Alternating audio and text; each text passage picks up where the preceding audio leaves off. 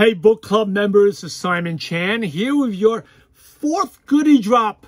Today I'm going to give you something exclusive, something from the book that uh, I haven't been sharing with anyone else, and uh, you get part of it. Hey, by the way, we got a couple weeks left before the book launch coming out in June.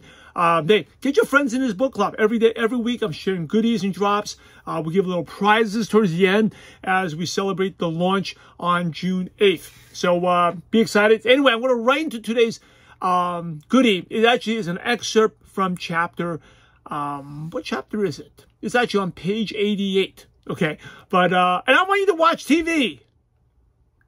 Did I say that? Yes. Go watch a TV episode. What do you mean by that? Go watch a TV episode. All right, anyway, if you want read, read the book, I'll go more into detail. But it's basically a time management tip, right? Part of consistency is whatever you want to be consistency with, part of the system uh, is you got to create the time. Right, there's seven components, and one of the components you got to create the time. So I know you're busy, you don't have much time, but we all can watch a TV episode.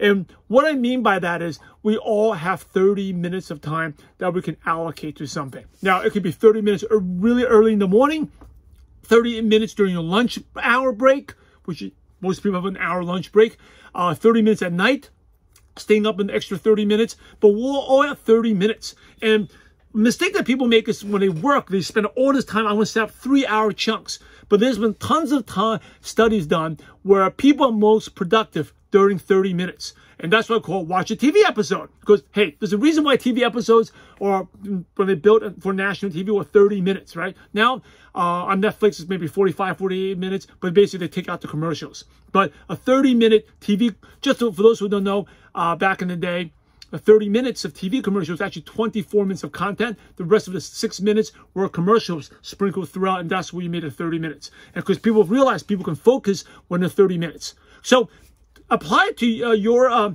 business. What's watch a TV episode means is, again, they've done studies where you work 25 minutes and then give yourself a five minute break. Simple as that. You're going to find yourself a lot, lot more productive, get more stuff done in less time. And uh, I talked about in the previous goodie how I wrote this book was basically, you know, in the mornings, I did 30 minutes. I'll take a TV episode. And then sometimes if I didn't have enough time, I'll work for 15 minutes. I'll do 30 minutes and then take a break and do 15 minutes.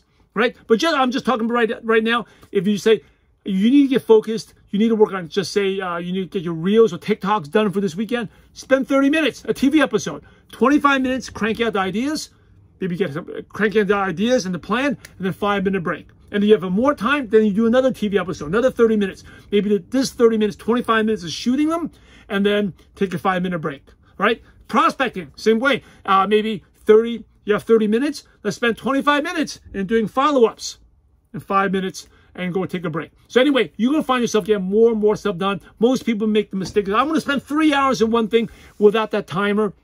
Uh, that normally doesn't work and you end up wasting a lot of time. By the way, the TV episode also talks about one of the tools I mentioned in the book, which is the timer, right? If you don't have an end time, we end up wasting too much time, taking too long. Use a timer, boom, boom, boom, right on the dot, and a 30 minute is a great time. Some people call it the Pomodoro effect, the 20 Pomodoro technique, which is based on the little kitchen timer. Because they've done again studies.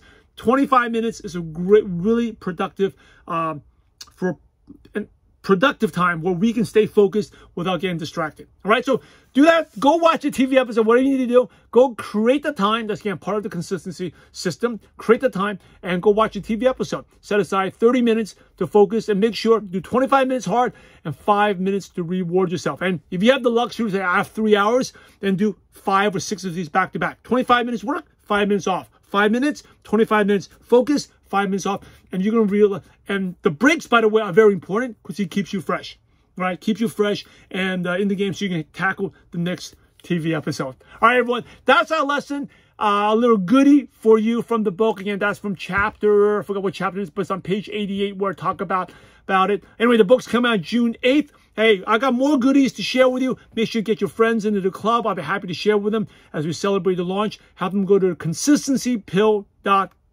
All right, everyone. Until next time, go enjoy your good goodie. Go apply it, and uh, look look forward to sharing with you next week. God bless.